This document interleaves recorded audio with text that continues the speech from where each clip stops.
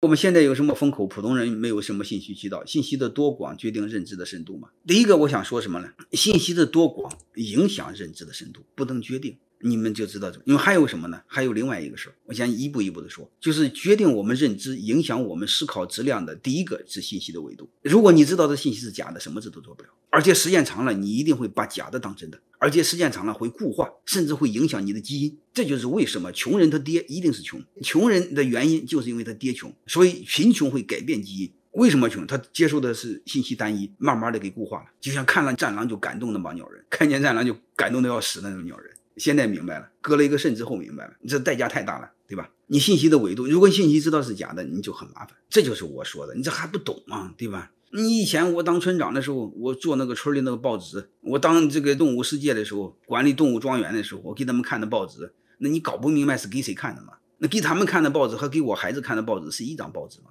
所以这些还不懂吗？然后这是第一个事儿，第二个事儿呢，你得有一定的理性和逻辑去推理。而且这个东西呢，你基本上可以判断出它是不是事实，就是你不能证明是真的，但是你可以证明这个事儿是假的，这是很容易证明的，因为它的逻辑上不严谨。你比如 B 朝鲜这两天没事天天说这个缺粮了，陷入饥荒；那个缺粮，陷入饥荒，对吧？你一会儿这个流浪汉，那个流浪汉了，你这是很简单，你推理一下就知道了。你怎么推理呢？因为你看你太多的有钱人、有权人都往那儿跑，这帮人你发现他是坏，但是他智商不低。你把这个事儿搞明白不就知道了？你千万别认为人家智商低，这是最简单的一个判断。你看看有钱人、有权人往哪跑，他肯定不会往很糟糕的地方跑。你这还用多说吗？那你说他为什么说人家那天天水深火热吃不饱呢？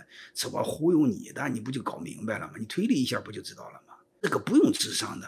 我一再说这个，你不要看一个人说什么，你看一个人做什么。那么男人的嘴能听吗？男人说的话能信吗？你们在座的女同学这句话还不了解吗？所以你们是不是搞不明白？那女人都知道男人的嘴骗人的鬼，男人嘴不能信。你们太多人相信，没数嘛。所以很多事你可以通过理性逻辑判断，你最起码不能保证它是真的，你能证明它是错的。再另外是通过是非判断，就是内心良知判断、是非判断。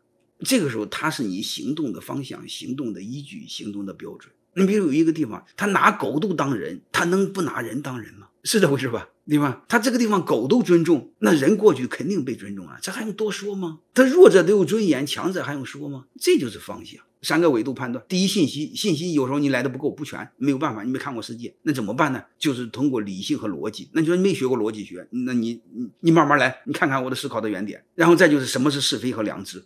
那你这个没有，这个没有就坏了，你系统坏了，因为你小的时候你爹给你装的系统装坏了，那你怨不着别人，那就毁了。讲一个基本的常识，在那一个六十年代，应该是七十年代吧，因为因为我忘了哪一年了。那个唐山大概是旁边六十多公里的一个青龙县，那个地震前夕呢，他顶着风险向全县预告了要地震。然后二十五号的七月二十五号的时候，那个龙山县的人都被赶到户外。二十八号发生地震，死了二十多万人。他那个县呢，房间坍塌一点八万间，全部坍塌的七万间，但是四十一万人没有一个死亡。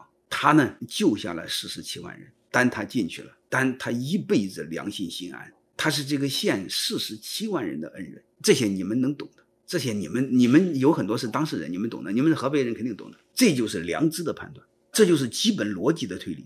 因为太多人懂啊，你看你的青蛙跳啊，什么鸟飞啊，鱼跳啊，这还用多说吗？各位，对吧？这就是基本信息，再就是良知判断。良知判断，你是听良心的还是听权力的？这是最基本的逻辑。地震无法预测这个人的信息准确，这就无语了。这事实摆在这儿，他就不信，你说怎么办呢？啊，各位，事实摆在这儿的你都不信，这事怎么办呢？你看这伙计还问他怎么会进去了，不是救人了吗？所以这兄弟，当你知道的少的话，你就还是你；当你都知道了，你就不是你了。所以落差太大了啊！我们信息量差别太大了，不在一个维度，所以我就没治。嗯，我实在是没治。就是我们信息差一个维度还好聊，如果信息差两三个维度的话，真的没法说。就是我们认知差的维度太大了，就没法再说了。那是个荒唐的年代。你现在看那个年代是荒唐的。是这回事吧？我问你，再过个一段时间，再过个十年二十年，看现在的年代，你告诉我是什么年代？所以不要老武断的解释，好像是都是别人荒唐，就你不荒唐，好像罗刹海是罗刹海那个歌骂的都是别人，没骂我们一样。别自作多情，